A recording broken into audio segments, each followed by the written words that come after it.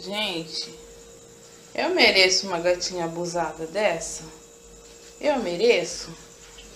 Agora eu peguei no flagra, depois falam que é mentira.